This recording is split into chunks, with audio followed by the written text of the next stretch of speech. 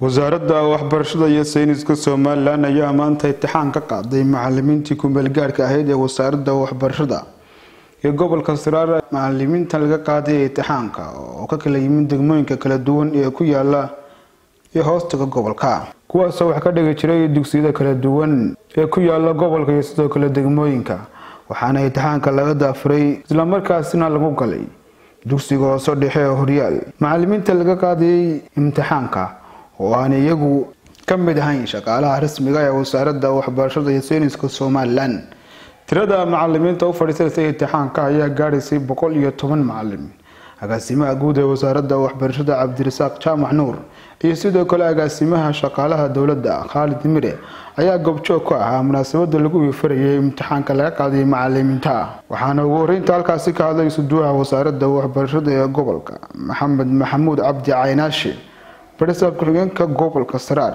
Barisaab ku-xigeenka gobolka shide cali. Mayrka degmada caynaba xasan yuusuf aadan iyo sidoo kale xogayaha dowladda hoose ee degmada caynaba cumar maxamuud oo muuse.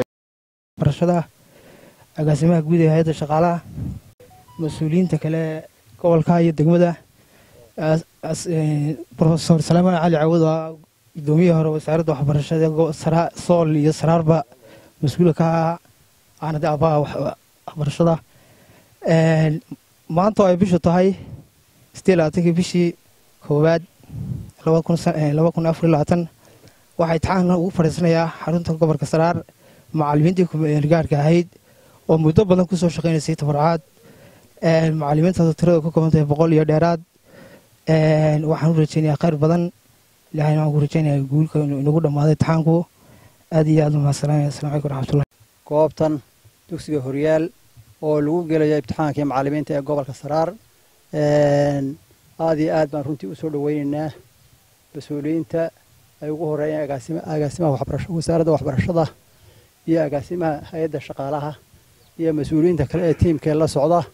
Runtii waxa weeyaan dadaal badan ayay siddeed iyo afartankii saacii hore ay nala joogeen ay muujiyeen si ay u qanciyaan maaragtay dadka macalimiinta iyo cid waliba meeshay ka timi loo hubiyo aad iyo aad baan u soo dhaweynaa run ahaantii waxaan halkan aanu ku daafuraynaa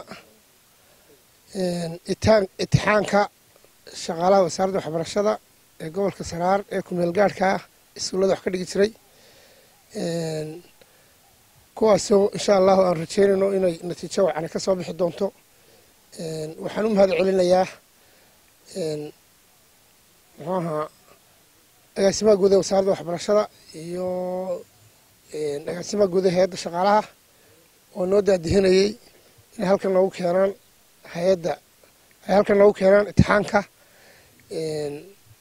ay ku soo baxayaan macalimiintu waxaan aada u bogaadinayaa siyaasadda madaxweynaha ee suuro gelisay macalinku isagoo wax dhigaya in iskuulkiisii loogu tago oo itixaanka lagaga soo qaado si uu noqdo shaqaalo dowladeed oo bayroorka ka tirsan. Aada iyo aad baan ugu mahad celinaynaa maanta ay bishu tahay siddeed iyo labaatankii bishii koowaad labada kun iyo afar iyo labaatan maalin axada. Waxaan halkan ku dahfuraynaa imtixaanka shaqaalaha kumeelgaadhka ah imtixaanka macalimiinta kumeelgaadhka ah ee wasaaradda waxbarashada iyo sayniska oo gobolkii saddexaad maanta uu u fadhiistay imtixaankii hay'adda shaqaaluhu soo diyaarisay maalmahanba waxaanu gacanta ku haynay sidii mataqaanaa imtixaan daah furan oo cadaalad ku dheehan tahay looga qaadi lahaa macalimiinta muddada dheer. Qaranka sida tabaruc ah ugu soo adeegayay waxaa ilaahay mahadiiya in labadii gobol ee u horreeyey ay si khayr qabta oo mataqaana wanaagsan noogu dhammaadeen maanta gobolkii saddexaad baan joognaa oo imtixaankii u fadhiistay shalay waxaa laga shaqaynayay in hay'addu iyo wasaaradda oo iskaashanaya ay hubiyaan liisaskii ay soo gudbiyeen isuduwayaasha gobolka u jooga wasaaradda waxbarashada ee wasaaradduna u soo dirtay hay'adda hubintii kabacdi waxaa soo baxay in mataqaanaa boqol iyo toban macalin maanta ay u fadhiyaan in ay galaan imtixaankaasi mataqaanaa hay'adda shaqaaluhu qaadayso sagaal macalin secondariyay dhigaan boqol iyo hal macalinna waxay dhigaan dugsiyada hoose dhexe. Imtixaanadu sida aad ogtihiinba waxay ka kooban yihiin markaa secondary oo ah shan imtixaan oo kala duwan iyo dugsiyada hoose dhexe oo iyaguna ah shan imtixaan oo kala duwan. Macallin walba wuxuu markaa gaar u gelayaa maadadii uu dhigayey. Waxaanu halkan u joognaa aynu u maraynaa. Waxa weeye arrin ku salaysan in mujtamaca reer somalilan ay cadaalad helaan tallaabo kasta oo adeeg oo ay uga baahdaan dowladdooda. Runta marka la eego waa gobolkii saddexaad ee aynu imtixaankan oo kale marinayno. Gobollada waddanka oo dhan in la maro imtixaankaas oo kale laga qaadaa kharash weyn bay nagu joogtaa wakhti badan bay nagu joogtaa. Muddo ayaanu ka soo maqnayn xafiisyadii aanu mas'uulka ka ahayn runta marka la eego oo aan saacad naga maarmi karin haddana waxaanu ka door bidnay in aanu cadaaladdaa horkeenno adeega waxbarasho cidda inoo haysa inay helaan siday ugu kala mudan yihiin. Garan maayo cadaalad ka weyn in imtixaan lagu kala saaro ama imtixaan la qaado oo cid la tartansiiyo way noo hawl yaraan lahayd inaanu guddoomiyaasha gobollada nidhaahno mid walowba bal soo gudbi inta aad macalline aad jeceshahay in la shaqaaleeyo. Laakiin taas waxay ku salaysnaan lahayd nijeclaysi iyo kolley dee isdhaafdhaaf. Annaguna dee marka xaggaana lagu keeno udhayada waxbaanu ku sii dardari lahayn. Laakiin taa waxaanu ka door bidnay in aanu marino cadaaladda oo inta ilaahay nagu ogyahay dhammaan tiimamka halkaa maraya hadday noqdaan kuwa hay'adda shaqaalaha ka socda iyo hadday noqdaan kuwa wasaaradda waxbarashada ka socda dhammaantood kitaab bay gacanta saareen. Markhaati baa ka ahaydeen iminka labadayada agaasimo guudba in aanu tala soo jeedinay oo ay qolyahaasu ay ganafka ku dhufteen inay yidhahdaan maya socon mayso. Annagana talon bay naga ahayd. Marka cadaaladdaas ayaanu rabnaa adeega waxbarasho macalimiinta lagu shaqaalaysiinayo in aynu dhammaanteen ku wada qanacno. Waxa aanu samaynay cadaaladdaa ka sokow degmadu waxay leedahay qoondo. Degmada degmooyinka ka sii hooseeyaana mid waliba qoondadeeda ay leedahay. Taa macnaheedu waxa weeye iskuul aanu ka tagnay ma jiro iskuul walba waxbaa loo qoondeeyey.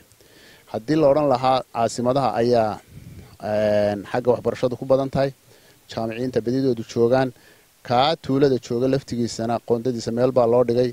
Waanaanu waanaanu u haynaa. Haddii ilaahay ka dhigo ma jiro imtixaankanu dhicitaan iyo baasitaan waxaa jira marka la beretamo waa aragteenoo dee safka waa la kala horeeyaa one iyo two iyo three iyo four. Inteebaa maanta mushaharka aynu gelin karnaa innagoo awooddeenna miisaaniyadeed eegaynaa. Intaasaynu maanta qaadanaynaa inta kalena kayway ku soo jiraanoo maalintaa maalinta uu midbaxo kuwaa hore kii ku xigay baa ku soo ruqaansanaya. Taasuna waxa weeye cadaalad iyo qoondo aynu u xidhnay gebi ahaantoodba inaan cid kale daaqad ka soo geli karin. Taasuna haddii ilaahay ka dhigo waa ballan. Marka inta imtixaanka ku jirta guul baynu rajaynaynaa. Dhammaan gobolka guul baynu rajaynaynaa. Waxa aanu barbar wadaynaa macallimiinta ku baasay gareedhka hoose. Waxaanu haynaa tababar lagu tayaynayo. Mar hadday iska keen taageen xaddigii macallimiintahaa ee faraha badnaa ee subax walba cidi soo gelaysay cidina baxaysay oo aynu maanta garanayna kaydka macallimiinta inoogu jira kuwaasuna nasiib wanaag waynu tababaranaynaa. Marka alxamdulilahi rabbilcaalamiin baynu joognaa. Waxaan u mahadnaqayaa madaxweynaha jamhuuriyadda somalilan oo aad noogu noogu booriyey in imtixaankaasu yahay xalka keliya ama cadaaladda keliya ee adeega waxbarasho loogu adeegi karo. Waxaan u mahadnaqayaa hay'adda shaqaalaha oo iyaduna nala garwaaqsatay in dariiqaa dheer la maro. Runta marka la eegana xeerka shaqaalaha ayaa xeerka hagaya shaqaalaysiinta. Maanta halkan aynu u joogno. Marka mustaqbalkana insha allah waxaan rajaynayaa annaga iyo madaxda naga dambaysaaba inaanu sidaa ku sii wadi doono oo aanu jiri doonin cid gaar loo wato ama cid gaar loo naas nuujinayo ama cid gaar loogu adeegayo ee imtixaankaas siman lagu kala baxayo. Idinkuna indhihiina markhaati baa kaga tihiin galaasyada saa loo ilaalinayo sida loogu jiro iyo sida qof waliba warqadaa hor taalla xaqa uu ku helo lagu abaalmarinayo. Halkan waxaa lagu dahfurayaa intixaamaadka macalimiinta ku meelgaarka ahayd ee ka dhigi jiray dugsiyada saraar iyo dhammaan. Aad iyo aad baan u soo dhaweynaynaa dhammaan bahda waxbarashada uu hogaaminaya agaasimaha guud. Bahda hay'adda shaqaalaha uu hogaaminaya agaasimaha guud. Waan soo dhaweynaynaa runtii aad iyo aad baan ugu hambalyeelayaa siyaasadda lagu hogaaminayo dalka. Ee ah qof waliba wuxuu bartay inuu wax ku qaato. Waa laga tegay haddeer hebel halkaa hebel eegey hebel halkaa hebel eegey waa laga tegay waxaan kula dardaarmaya qof kasta dee macalin yahay haddii dhalinyartahay dee waxbarashada arday tahayba in wax la barto si qof waliba qalinkiisa wuxuu bartay uu kala soo baxo. Aad iyo aad baan idiin soo dhaweynaya maamulka mas'uuliyiinta halka joogtana wada salaamayaa ku soo dhawaada gobolkii saraar ku soo dhawaada gobolkii cagaar. Hadda cagaar annaga hadda cagaar ka soo bedelaya abdiraxmaan mashaale telefishinka codka bariga afrika. Ayna